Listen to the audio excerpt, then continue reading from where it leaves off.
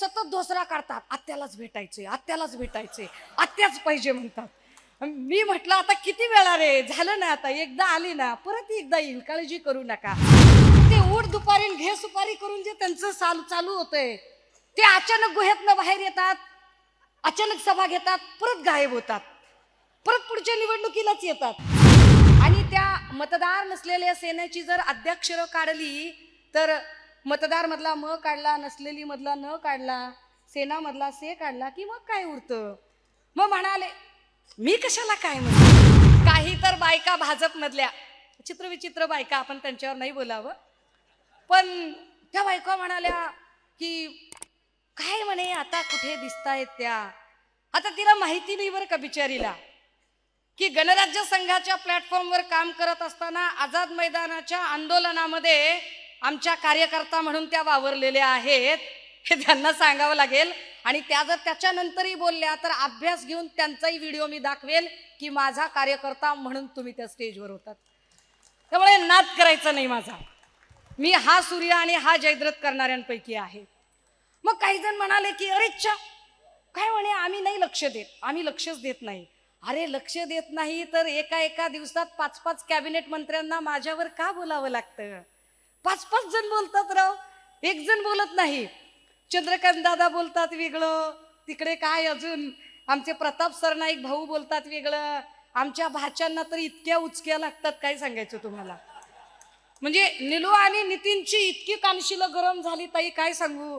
आणि ते सतत धोसरा काढतात. आत्यालाच भेटायचे आत्यालाच भेटायचे आत्याच पाहिजे म्हणतात. मी म्हटलं आता किती वेळा रे? झालं ना आता एकदा आली ना परत एकदा येईल काळजी करू नका. अगो हो, पुन्हा केलं की पुन्हा एकदा येईल मी. मग काही जण अजून काही वेगळ्या पद्धतीने सांगायला लागले.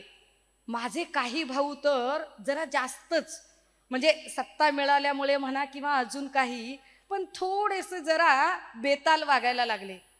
परंतु हे महाप्रबोधन फक्त तेवढ्यासाठी नाही अजिबात नाही.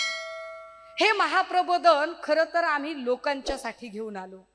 त्याचं कारण असं आहे मंडळी की झालं काय गोंधळ?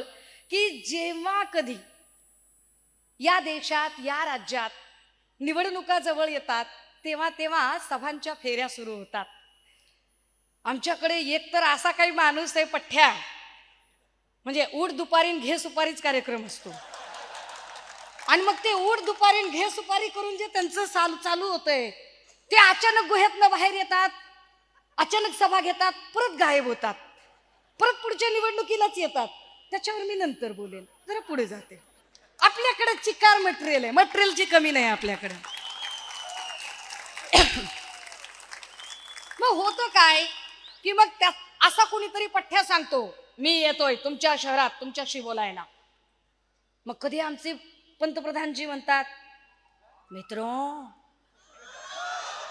मैं मन की बात करूंगा. विचार करा कोई मन की बात सुना रहा है कोई बोल रहा है की मी येतोय तुमच्या शहरात म्हणजे प्रत्येक जण आपलंच सांगायला येतोय. लोकांचं कधी ऐकायचं? लोकांशी कधी बोलायचं? बोललं पाहिजे ना. आपल्या माणसांचे प्रश्न काय आहेत ते मांडले गेले पाहिजेत.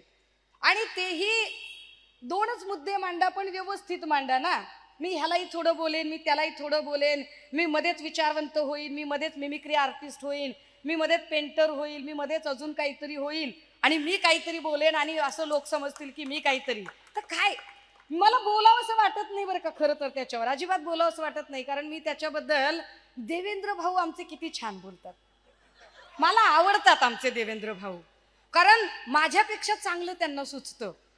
ते ते म्हणाले की अहो मतदार नसलेली सेना त्याचा पॉ शॉर्ट फॉर्म करा तुम्ही. मग काय होतो बघा. आणि त्या मतदार नसलेल्या सेनेची जर अध्यक्षरं काढली तर मतदार मधला म काढला नसलेली मधला न काढला सेना मधला से काढला की मग काय उरतं? मग म्हणाले मी कशाला काय म्हणलं मी काहीच बोलत नाही. मी लय गरीब लेकरू आहे मी अजिबात त्याच्यात पडत नाही. पण आता ती उमेदवार नसलेली सेना इथपर्यंतचा प्रवास झालेला आहे. पण तरीही त्यांना बोलावंसं वाटतं.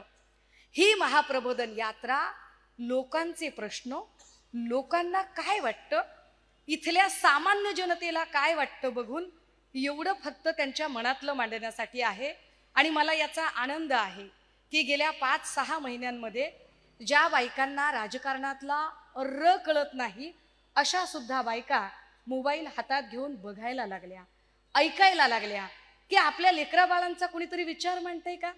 आपल्या लेकरासाठी कुणीतरी बोलतंय का? काय पद्धतीने इथलं राजकारण होतंय बरं? जेव्हा इथे द्वेषमूलक राजकारण अगदी टिपेला पोचतं फक्त आणि फक्त द्वेष पसरवला जातो फक्त आणि फक्त एकमेकांची उणीदुणी काढली जातात.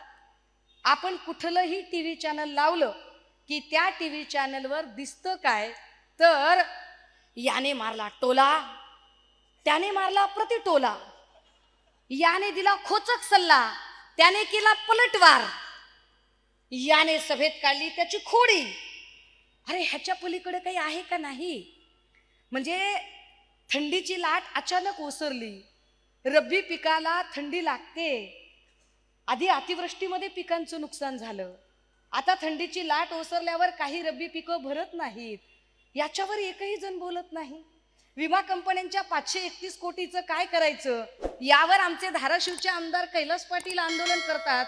पण यावर बाकीच्यांना बोलावं असं वाटत नाही.